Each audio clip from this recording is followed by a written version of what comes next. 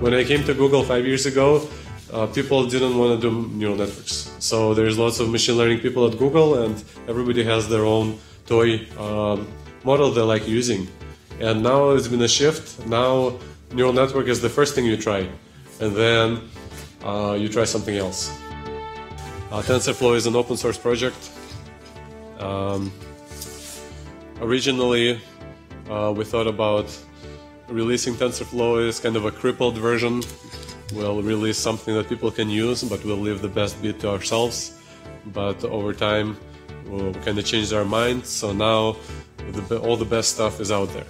So what you see is what we see, except for some buggy operations, which we didn't want to embarrass ourselves in open source.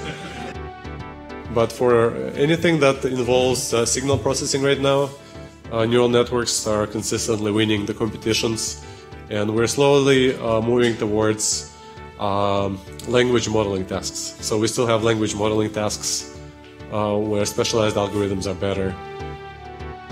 Yeah, so there's a, if you search for TensorFlow Android example, there is something which uh, tells you how to build it and run this camera demo which recognizes things it sees in real time.